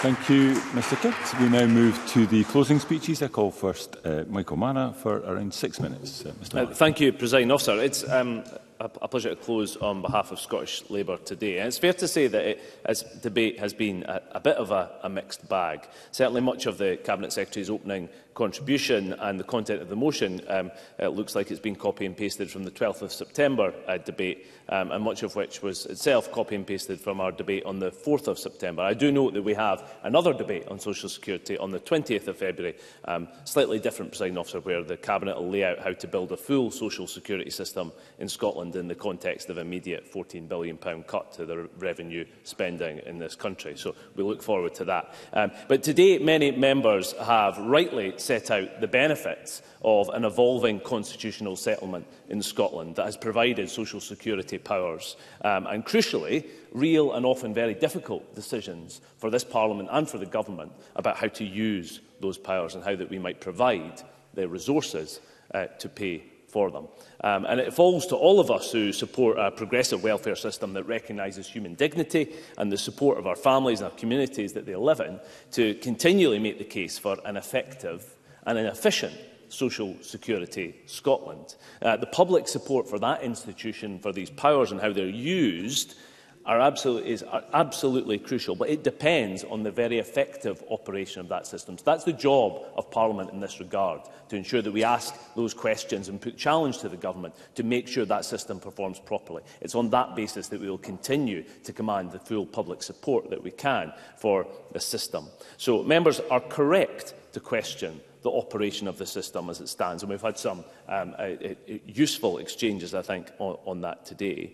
But we should not be in a position, I don't believe, where waiting times are longer for disability payments in Scotland than in the rest of the UK when people are facing destitution. And that is a real and immediate impact. Um, Willie Rennie was right to discuss, I believe, the issue of backdating payments. But for many, the need is immediate.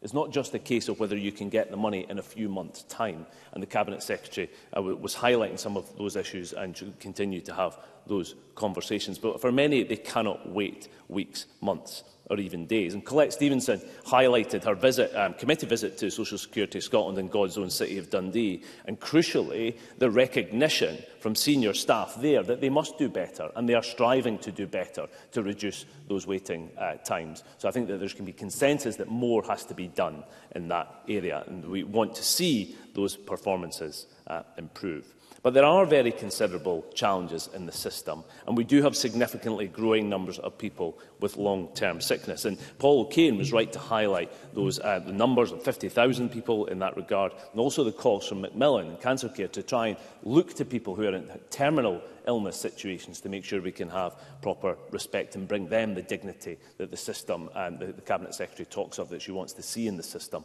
uh, which she presides uh, over. Um, and there's been some discussion in, in the debate about uh, the what's next I think uh, uh, Bob Doris was talking about some of the next challenges that the system has faced. And I would like to highlight one in particular. And certainly the Office of National Statistics has recently highlighted an additional 200,000 people across the UK uh, who are um, at the long-term sickness. And that's a real significant strategic challenge for the entire UK's um, uh, social security system, but it is for Scotland as well a very significant uh, challenge. And the causes of that, President Officer, are far from clear. There are certainly issues in the post-COVID environment, a burden of legacy disease, um, a real failure to restart the NHS. We know that these figures are partly the consequence of the complete failure to restart our NHS appropriately, the failure of the uh, government's recovery plan, one in six on waiting lists, disastrous A&E performance, and an elective surgery at a standstill for many people across Scotland. These are the kind of of issues, if we don't solve them, then we will continue to increase the burden on our social security system. And that can be seen, certainly, take my, uh, the Minister. Minister. Just on that point, and, and, and we um, keep on hearing of Labour have told us that they're the change that we need, and Paul O'Kane was asked the question about what welfare policies Labour would reverse if they were in power in the UK. And he mentioned obviously around about fiscal rules. Now, that, that's the real important point. The fiscal rules are obviously something that Labour can change if they are in power. It's a political choice. And I think that's a really thing, important point to mention. When Marie McNair obviously talked about mitigation policies, but to start, a Labour government could cut, uh, reverse the two-child cap, uh, rape clause, reverse capital cuts and raise local housing allowance.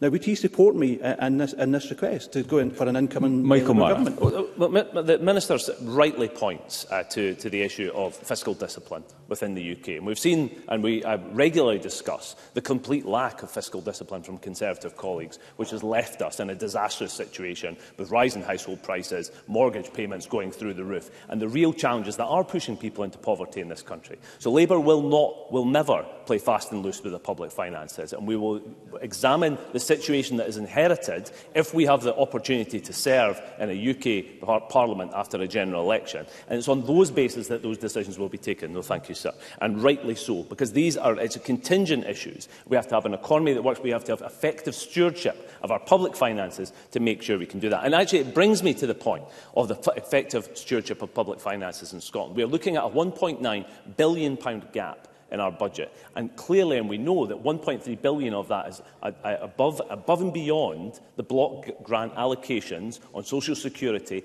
decisions taken by the government. But these issues will be exacerbated by these sickness and long-term sickness figures. And all of that, presiding officer, leads, if, the, if we listen to the Office of Budget Responsibility, to a, uh, a 1.5% downtick in GDP figures. And that itself would also be disastrous if we were going to deliver the resources that we all want to deliver for social security and the many other parts of the public services that we require. I have to say, that uh, reflect very briefly, if I can, no, I'm just coming uh, to a conclusion. Uh, thank you, Mr Doss. Uh, very briefly, briefly on my, my colleagues behind me's uh, a contribution, Faisal Chowdhury and Katie Clark, detailing some of the issues that they have been receiving in terms of uh, representation from their constituents. And it is the divergence, I'm afraid, between the representations that we receive as MSPs in our inboxes and the content of the motion that means that that we shall not be able to support it today. There are significant challenges that the government has to face up to, and the sooner we can get into that and more of a constructive debate on it,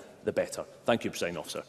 Thank you, Mr Mara. I now call uh, on Miles Briggs for around seven minutes. Uh, Mr Briggs. Thank you, Deputy Presiding Officer. And I think um, we've heard a lot of what I think we'll be hearing over the Westminster election, of um, SNP rhetoric. But I would like to start by thanking the organisations which have provided, I think, very helpful briefings uh, for today's debate. We all want to see a social security system that can help people to realise their potential and provide that safety net when we need it. And as the Cabinet Secretary uh, stated at the beginning, Parliament has worked cross-party uh, to support the delivery of new payments, which ministers um, have highlighted, for example, the Scottish Child Payment, which is making a difference, and I think we should collectively uh, welcome that. But Katie Clark was right in her contribution. Today's debate should be about scrutinising the Scottish Government. And I think it would have been more honest for the Cabinet Secretary and SNP and Green members to actually acknowledge the many and increasing challenges facing Social Security Scotland, as well as the future sustainability um, questions which are coming more and more over uh, new and existing benefits. We have stated, and I have stated in previous debates, that I cannot believe that ministers and MSPs from the SNP and Green parties – have not received complaints from constituents regarding uh, Social Security Scotland processing times and arrangements. And I don't think it helps any of us, and certainly not our constituents, to try to dismiss or sweep these concerns under the carpet. And despite SNP and Green government claiming uh, all is well, it's clear that the establishment And transition today of social security powers to Scotland has not been easy or straightforward, as Scottish ministers suggested it would be. And the fact that DWP and UK ministers have been able to provide contingencies and extensions, I think is welcome. It shows the UK working uh, together. But these will be in place till 2026 to help support the delivery of what was meant to already be in place. Promises made by SNP ministers around the establish establishment capabilities of Social Security Scotland have clearly just not been realised. Deputy Presiding Officer, we're in the middle of a Scottish budget process, and although ministers today highlight a forecasted 1.1 billion pounds in more welfare spending. What is not clear, and something we should all across parties in this chamber take seriously, is where future sustainability around that spend will come, especially as we see the development in relation to new demand-led payments. The Parliament's Social Justice and Social Security Committee have consistently um, on a, and on a cross-party basis raised these concerns over future financial sustainability of our welfare budgets in this Scottish Parliament. I think that's something we haven't heard much from uh, ministers today. Um, if I can get some time back. Yes, Bob Doris. I thank Miles Briggs for taking the intervention. In my contribution, I mentioned the idea of tapering of the Scottish Child Payment to support families and parents back into work and not of a cliff edge. That would be a financial benefit to the UK government to get people off of universal credit and the like. Do you think the UK government could help support finance some of that to Scotland? Is there hope for the UK to fund Scotland more to allow us to do these innovative things that would save the UK exchequer cash? Miles Briggs. So I, I definitely think that's something which uh, should be looked at. And I, I think there's a number of issues which were touched upon in this debate, which um, collectively both governments can look to take forward. Willie Rennie made a characteristically measured contribution to the debate, but I think what we have lacked today is that vision for our social security system. And on that point, 150,000 of our fellow Scots who have never been able to get into work, that's 6.8% of our working age population, need additional support to be able to achieve that. And one of the key questions which I want to know is where cuts to employability schemes in Scotland over recent years has also hampered that happening. Carers allowance changes are also an area uh, which was touched upon, and payments um, towards um, six months, moving towards six months for someone who's uh, faced the bereavement, I think is something there is cross-party consensus on. Also, the negative impact we have seen in changes to the winter heating payment in rural uh, households, for example. Uh, Maggie Chapman, who represents the northeast of Scotland, didn't want to mention the fact that under this SNP Green government, her constituents are facing an unfair and cruel cut to the winter support they receive. That's something I think the Scottish Government should relook at, um, because many people in rural Scotland are losing out from this SNP Green government. Now, Bob Doris also highlighted at uh, Marie Curie Scotland's uh, briefing and the call for more uh, targeted targeted support for those who are terminally ill um, and their families and carers. And that's something I also hope um, in future debates we can also look at. I agree uh, with what has been said by Marie Curie. We need to see more support. Last week I chaired a roundtable with Kidney Care UK um, and was pleased to hear from the Minister, Minister for Palliative Care um, work which is progressing to deliver a national home dialysis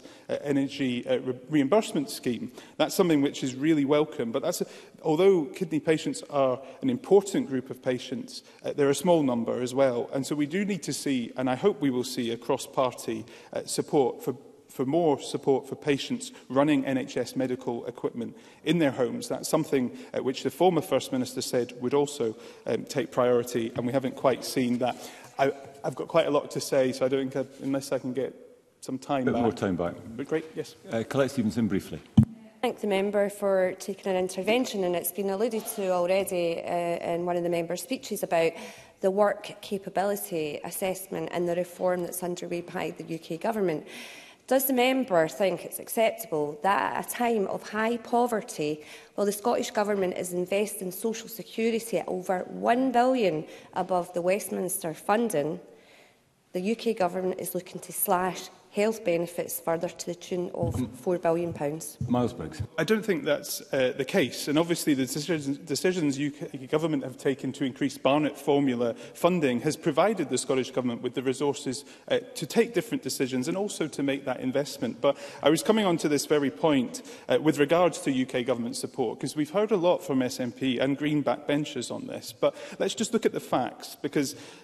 This year alone, UK government uh, benefits will, will see an increase of an average of £470 for people in Scotland. That's going to benefit over 700,000 of our fellow Scots. The UK government has provided £94 billion uh, in support for households navigating the cost of living crisis. Now, no one necessarily mentioned the, the real heart of that, which was the global pandemic and the, the illegal invasion of Ukraine. But that is why it is so welcome that just last week the UK government also in uh, announced a third instalment of its cost of living payment uh, to be paid later this month to qualifying households, benefiting over 680,000 people across Scotland, totalling a £900 payment to eligible households. The UK government has also announced the national insurance cut worth £754 in everyone um, in over 2.8 million working Scots pockets. The UK government has also raised the, the minimum wage from 11 £44. Now, I don't think I've got any more flexibility. Um, increasing that for, by over £2,000 for most households. And the state pension, let's not forget as well, will increase by an average of more than £900 this year, benefiting over 1 million pensioners in Scotland. Taken as a whole, both governments can and should be working together to deliver the welfare system uh, that we want to see. And certainly, as I've outlined, UK government have made many welcome uh, changes to support people during this cost of living crisis.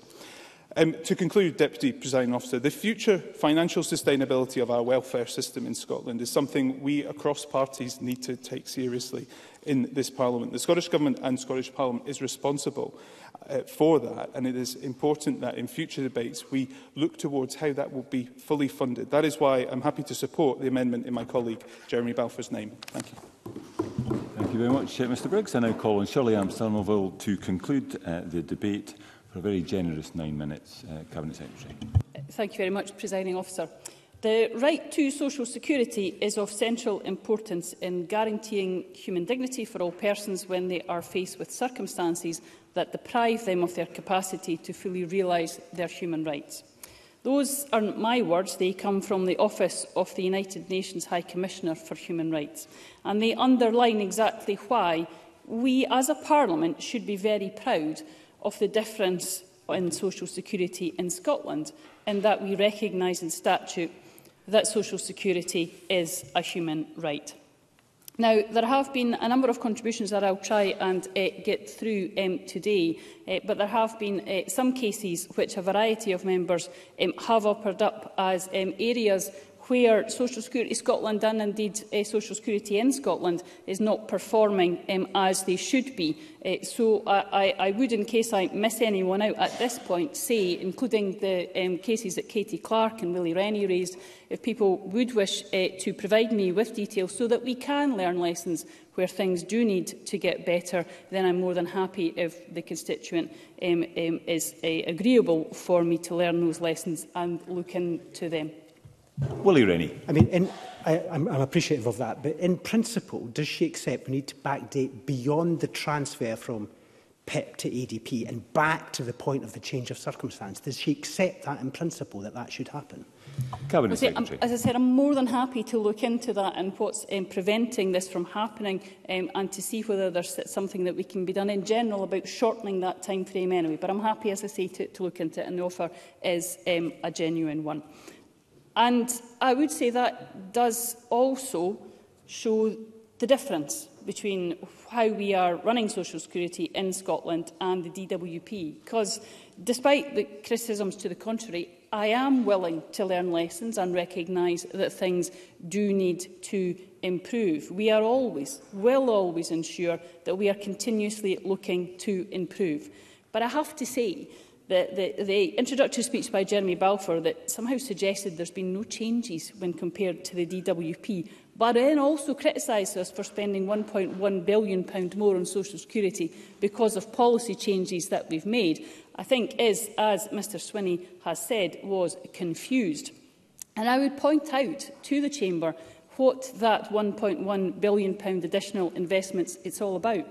It's about new benefits unique to Scotland, £614 million, including the Scottish Child Payment, £457 million. It's about other social security payments of £110 million, which include the Scottish Welfare Fund, discretionary housing payments, many of course there to mitigate against the worst excesses of Westminster and also the spend above the block grant adjustments for social security £368 million, of which £300 million is on adult disability payment. That is the difference that we are making. The policy changes because social security is an investment in the people of Scotland. And to those, particularly in the Conservative benches, who are asking how we can make and ensure the sustainability of social security, can I give them two suggestions? If the UK government actually got its act together and ensured that we didn't have to mitigate against their worst excesses, that would save us hundreds of millions of pounds each year. If the UK government raised universal credit or introduce an essentials guarantee, we're still waiting for a reply on that one, but I don't hold out hope, presiding officer, then that would ensure also that this government had more money to invest and make other changes in social security, many of which people have asked for today, but none have suggested where that money would come from. And I would also say when it comes to actually how people are feeling about social security and the delivery of that. Can I point to the number of complaints about ADP in the first half of 23-24, which were 0.67%? Now, I would say still we have lessons to learn on that, but clearly that is a marked difference to the DWP. And when we look at the client survey results, where we have 97% of people who use the service getting their payments on time, 93% saying they were treated with kindness. Now, I would compare that to the DWP presiding officer, but they don't publish figures on that. I wonder why. Now, when it comes to some of the contributions from Labour Party members um, today, and Paul O'Kane's introductory remarks um, um, uh, did really uh, put this into focus right at the start. He talked about social security overall needing reform, but the intervention from my colleague Kate Forbes then brought no suggestions about what they were actually going to do. I think, to be fair to Mr O'Kane, we got that they'd have a review Well, I don't need a review to know that the rate clause is immoral. I don't need a review to know that the universal credit is not fit for purpose and not at a rate that allows people to survive, never mind thrive. So unless anyone from Scottish Labour, and I hear Michael Mara from a sedentary position, unless he wants to actually come forward and say that Labour will bring in an essentials guarantee, that Labour will scrap the rape clause, then we have just unfortunately heard more empty rhetoric from the uh, Labour Party today.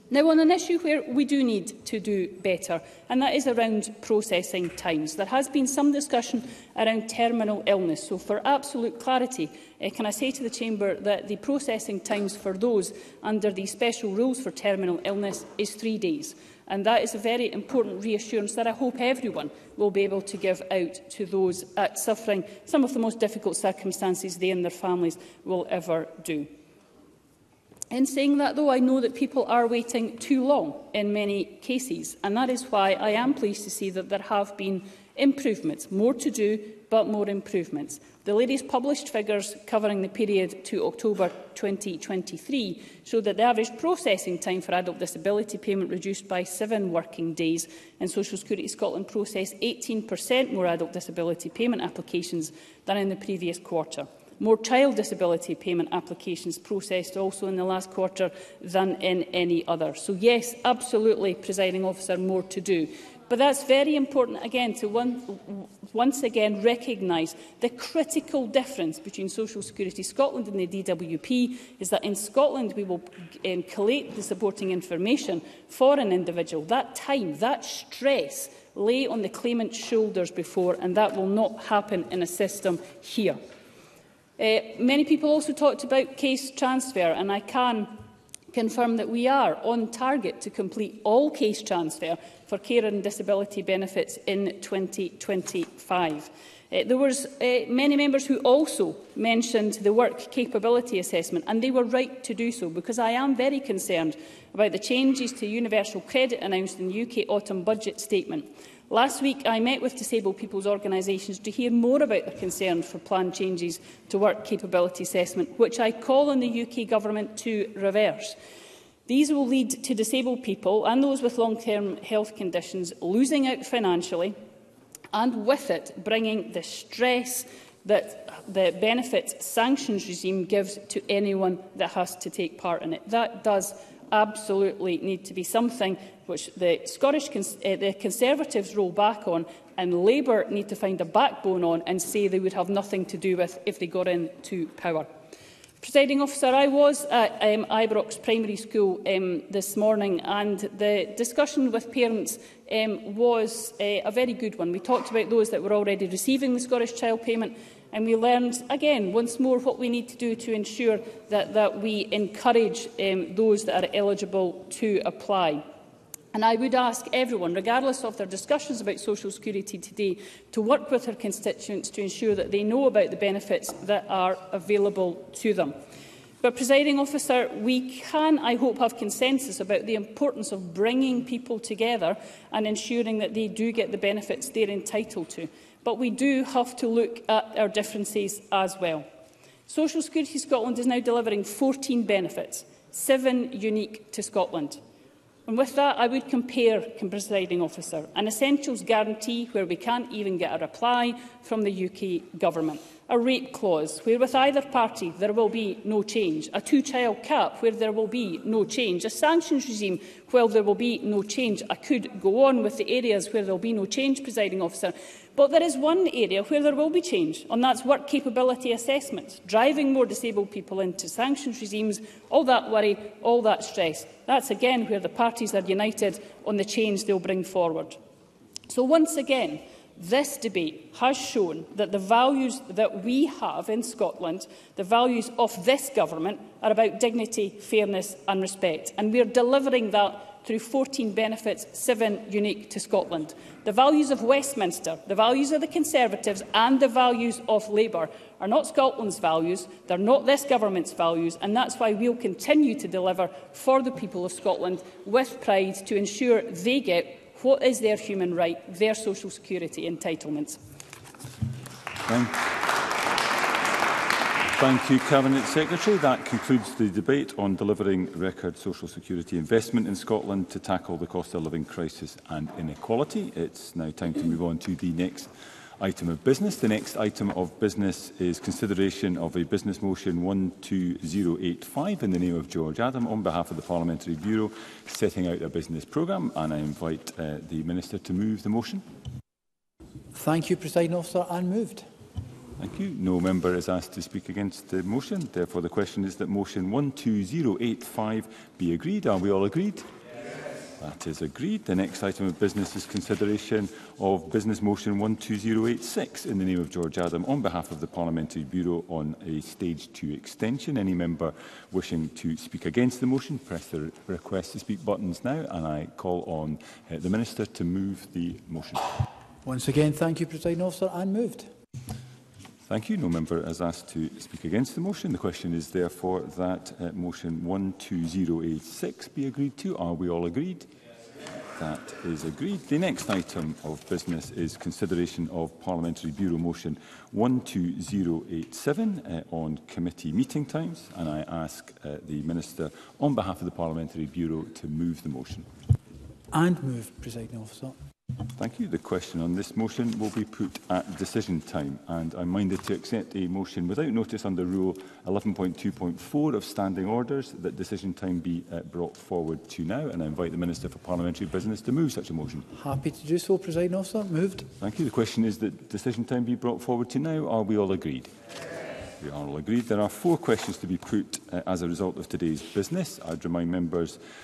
uh, that if the amendment in the name of Jeremy Balfour is agreed to, then the amendment in, uh, in the name of Paul Kane will fall.